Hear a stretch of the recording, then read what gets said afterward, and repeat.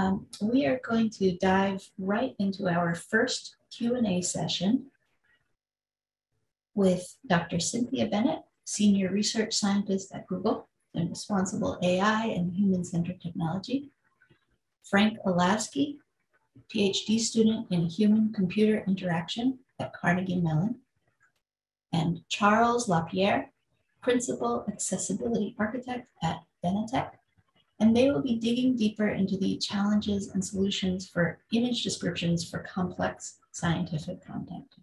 And check out bios and other session info in the chat. Yeah, I think um, we were going to have Charles start out. Just we were going to talk about our wins. I think is how we wanted to start the session. We were just going to say the things we were hoping for as a like really good outcome of the session sometimes it's hard i think in q&a or in panel sessions to have sort of a focus or a thing um, that we're keeping in mind while we're moving the discussion forward. And so I guess I'll kick that off and then, you know, Charles and Cynthia can go. Um, but yeah, for me, I think I came into this. Um, I think somebody had already mentioned, maybe it was Bill, um, that we don't have to make the case that accessibility is important. You know, most people do believe it's important. And actually, I think maybe my takeaway is that everybody here today really does see the value of accessibility, even if they were on the fence or they're new to this or they're not sure, or maybe they're in the camp of folks who um, think that doing uh, accessibility work is a burden or a challenge that um, that maybe their thinking on this can be reframed in a light that that sees the broader benefits and the good um, that uh, access work provides. So yeah, I think that that's my the win, the thing that I'm hoping for as an outcome of this. Yeah, Charles LaPierre here from Benetech. Um, my win would be, you know, basically to educate folks on, you know, so, mostly primarily scientific papers are almost always in PDFs, and uh, but has so many limitations. Uh, if you're a dyslexic you, person, for example, you can't change the font to your specific font. If you read Courier uh, and the papers in Times New Romans, you're going to make a lot more mistakes. So having a, a format that allows you the flexibility to make it reflowable, adjust the size, font type, etc., is a huge win. And I think uh, just there's other formats like EPUB and you know even just HTML uh, directly. Um, and th these are some of the things that we're hoping for to show you all today. While we're waiting for Cynthia to rejoin, Frank, what are you seeing as some of the, you know, in your uh, expertise, in your field of uh, challenges right now? Oh yeah, good question. As a note, she just texted me. She said we could get started if you want, but also I'm, I'm happy to chat too. I guess she's going to try and troubleshoot and then hop back on. Um, yeah, I we can start the demo. I think let's okay. jump in. Okay, sure. It, so, so me... for mm-hmm. yeah, for yeah. those watching, just as a little context, we have some demos um, that we want to show of um, just sort of um, alt text, different approaches to image description. Um, and uh, as part of our demos, we also have, you know, we're going to be showing a little bit of like the markup for for how we do this. And we were going to sort of co-discuss as panelists, and then at the end have a Q&A. So just as context. All right, so let me share my screen and i am also going to share my sound because I'm gonna bring up from time to time voiceover. Okay, so um, this is a typical image that you may find in a scientific paper. It's uh, slightly complex where we have a couple different uh, bar charts here and um, and it also has a fig caption. Uh, so for sighted folks, it's everything's fine. You know, you can pretty much get everything you need to know by looking at the image and the fig caption. But if you can't see that image and all you have is fig caption, you're in serious trouble, especially if the uh, alt text description, you know, is the only thing you see. So in this case right here, this is the image and it has an alt text description. So when I go back to the uh, here and I turn on voiceover. Voiceover on Safari. Extended description using HTML details and summary window. Extended description using HTML details. Okay, so I'm going to go into this Heading Level 1. Extended description using HTML details and summary. So having a H1 heading one, this is important. It gives hierarchy and easy. You are currently on a to uh, to get uh, jump by headings. Now I'll go on to the image, and if uh, there is no image description, you're going to get nothing, which is very problematic. But in this case, we have an image description. Figure 2. Two stacked bar charts depicting the percentage of overall scores by figure type, top, and the percent description scores by description type, bottom. Each figure may have more than one figure type, e.g., data visualization, and image. n equals 300. Figure. Okay, so that's the fig caption that was just read. Now, if I move one more, I'll actually get to the. You are currently in a fig. The top chart plots the percentage of each score 0 blank, 1 descriptive, 2 somewhat descriptive, 3 descriptive, and 4 very descriptive. For each type of figure, all figures, data visualizations, images, diagrams, text blocks, and tables. The bottom chart shows the percentage of descriptions with each score for both overall descriptions, and then broken down by captions, alt text, long field, and alt text, short field, image. All right, so that's great, but in in that case, You are lot- currently on an image. that's a lot of information That's um, you know you have to cognitively try to make sense of all that, right?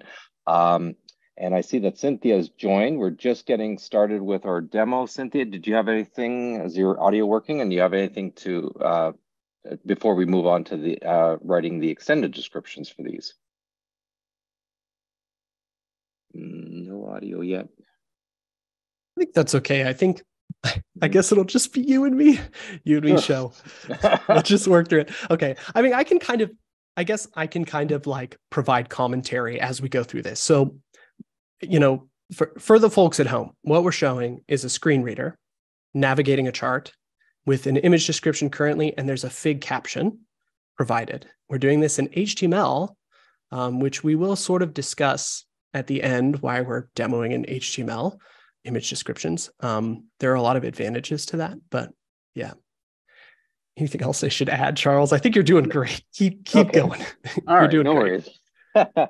Cynthia, you know, our expert here as a blind um, user, she struggles with this all the time, like you heard earlier today, right? Um, so a lot of times in in in PDFs, it'll just say image, and you won't even get that rich um, alt text description that we we got just now. So I'm going to turn off voiceover. Voiceover off. And um, the next thing what we're going to do is go to, so that's great if we just have the image description. The next thing we're going to do is add in an extended description. So we're going to have, we're going to bring up um, a uh, uh, tool uh, in the HTML toolbox called summary and details. And this allows you to put in details right under the image. So you have context of the image and then its extended uh, description right below the image. And you can either expand it to, you know, see that extended description if you need it, or just skip right over it if you don't need that information, right? And the, the idea here is the alt text description gives you a high level overview of the image itself. And then if you need that extended description, you can open it up. And having that extended description also could help uh, folks with different type of cognitive disabilities be able to see that. So now I'll switch back here, bring up the second example. And in this example, you'll see that at the bottom here, we have this extended description. Um, so I'm going to turn on the voiceover here. Voiceover on Safari. Extended description using a heading level. Figure Okay, 2. The top chart plots this. the extended description. Collapsed summary. Group. Okay, so now I'm going to um, expand this summary. Extended description. Ex- heading. The heading level 2. Extended description for top chart. Overall, around 50% of figure descriptions, considering the alt text and captions together, scored 3 or above, and around 50. Zoom.us. Zoom floating vid. Safari. Extended description using HTML details and summary window. Overall, around 50% of figure descriptions, considering the alt text and captions together, scored 3 or above, and around 50% of figures scored 2 or below. Of figure, extended description. Show Okay, so- sidebar button. Yeah, Tab group picker. to, to- I was trying to stop it from talking and I was kept pressing the wrong button. apologize for that. So you get the idea here. You got this extended description. We actually have H3s uh, for the extended description, so you can jump directly to those as well for the top and the bottom chart. Um, and again, you get that more rich information about the um, about those um, those the figure itself. But this is a this is a bar chart, and a bar chart we can actually get into the actual table and get to the numbers because uh, visually I can look and I know that you know uh, Outlook has new window as file. Ah, turn off voice. Voiceover off. you are all right, here we go. So I can see that, for example, uh, text block here, uh, we have four for, uh, sorry, seven of blank, two that has uh, non-description, and four that has somewhat descriptive, right? But to try to get that information from the um, extended description, you have to listen to all that, and it's not as easily readable, uh, readable or available to you than looking at the chart and or in a tabular format. So the last part is getting this information where we have that information as well. So when I click on here and go to the extended description, we now have the full extended description with the, the summary of the um, of the extended of the top chart and then actual table data here. And again, now when you go into the voiceover And okay, why is it not reading to me? Ooh, voiceover off, it's not speaking. Okay. Voiceover doesn't like me right now. Um, right, one more time. Voiceover on Safari. Extended description using HTML details and summary. Window. Overall. Heading level 3. Table of top figure data. Percent overall description score by figure type. Table 8 columns. 7 rows. So that was the table um, caption. And now I'm going to go into the table. You are blank, blank. Column 2, not descriptive. Column 3, somewhat descriptive. Column 4, descriptive. Column 5, very descriptive. Column 6, number. Column 7, percent. Column 8. Row 2, column 1. All figures. Blank. 24. Not descriptive. Very small percent. Co somewhat descriptive. 114. Extended description. So as you can see Extended now, description. Stop, stop. There we go. Uh, now you can actually do, uh, the screen reader user can go and navigate and hear those percentages directly in this table view, uh, allowing you to really get uh, full control and access to all of that rich data that's in this image that you wouldn't necessarily get Voiceover off.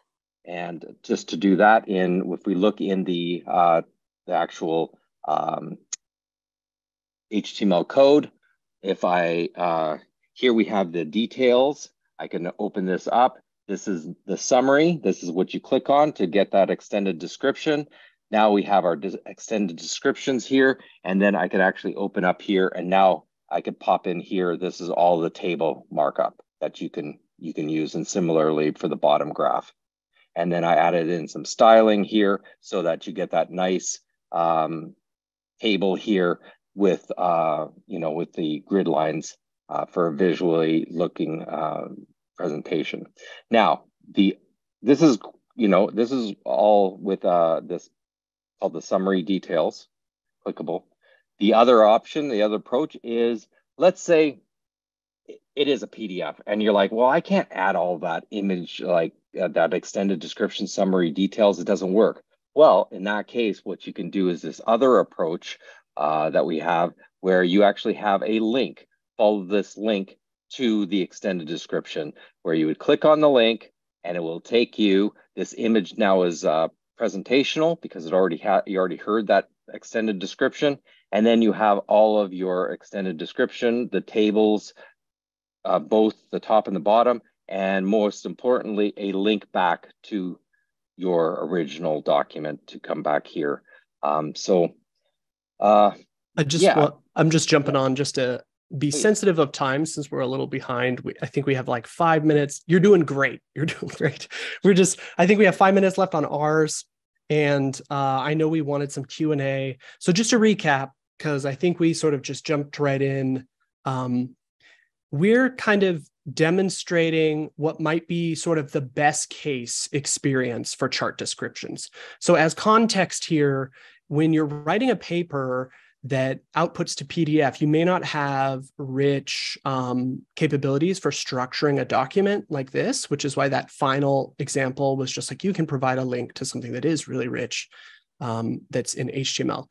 But what we wanted to do is just show like this is a great HTML experience and really something that we would hope for and strive for, and kind of you know um, the the richness that we can eh, um, uh, express in HTML allows us to break down the complexity of something like a data visualization or a diagram that might be um, pretty hard to do with just alt text um, or a short description in a paper. Absolutely. Um, this is Cynthia. Am I audible? Hi, yes. Hi. Oh my gosh. So I'm on my Yay. I'm on my phone, so this will be a video free. Um, and I missed like everything you all said. So I will maybe stay quiet and and address a specific question if something comes up at the end. But sorry, everyone. Terrible computer problems. No problem. It happens to the best of us. I see Bill's hands raised. Okay, thanks for calling on me. Can you hear me? Yes. Great. Um, another thing I thought might be useful to point out is that, you know, as you were showing that uh, table data in the uh, uh, extended description, I was going to point out that very likely those that figure was created from table data like that in the first place. So most likely you don't have to make that table data. It's already in an Excel file or something that somebody used to make the graph. Yep. And in that case, Bill, there was a lot of um, on the um, the graph uh, image itself. You didn't have a number in some of those small slivers where you would actually have that those numbers in the real table, and so then you would get even a better experience because you'd be able to see what you know less than you know maybe it was one percent or whatever uh, where it wasn't shown in the graph uh, in the actual image because it would have made the too cluttered, right? Um, so that that would be an advantage in this point. Yeah, you know what? My comment I made in the earlier session, because I my practice is about workflow, is that usually those graphics that are in you know scientific papers are often made by a graphics department at a mm-hmm. university. The author themselves mm-hmm. isn't necessarily making those graphics, but um, so you, you've just got by the time it gets mm-hmm. to the to the paper, you're several steps removed from the data that actually is what assistive technology would like in the first place. But it doesn't mean it doesn't exist. It just got dropped. Thanks, Bill. Great point. Yep.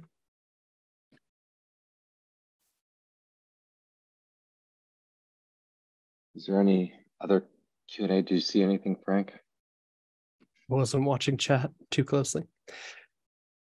Um, this is Cynthia. Frank, did you get a chance to talk about um, chartability and kind of, you know, for folks who can kind of self-publish things beyond a static PDF format, like what would actually also be cool is interaction. Um, did you get a chance to touch on that? No, I didn't. I uh, I just want to say that I have a prior project called Chartability. It was designed for practitioners writ large who are making like data experiences, data visualizations, data interfaces to make those more accessible. And actually, quite a lot of Chartability is applicable to um, understanding how to make you know scientific figures in papers more accessible. But also, I think it it for those of you who are only publishing in kind of PDF through publishers, it might also open your eyes and, and give you an opportunity to kind of see other ways that you can put your work out there that might be more interactive, it might be richer, and also more accessible. So that's my project called Chartability. I put a link because I can only chat with panelists. Put a link in there. Maybe they can extend it to like I have an HTML version of our paper on that, and then there's also a link to the project itself from there.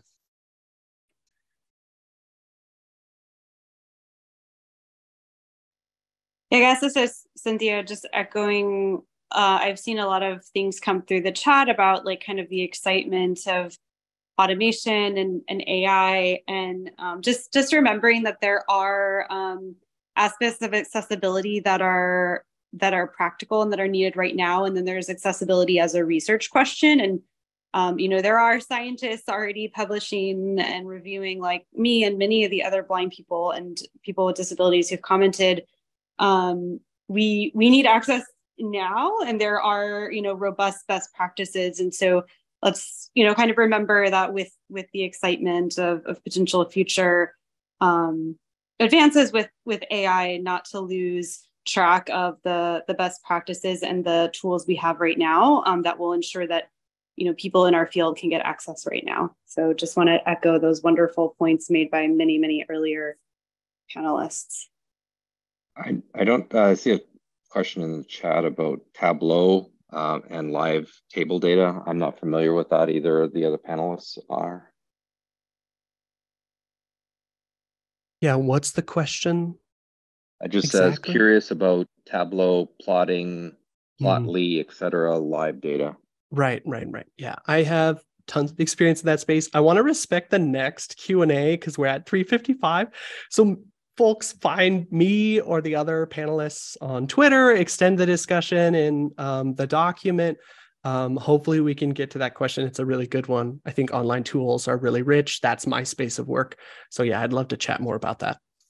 And quickly, the table is not hidden. The table is actually visible in the uh, two examples that we showed, um, either right directly under in the extended description or on the uh, separate page. Thanks. Thanks so much, guys.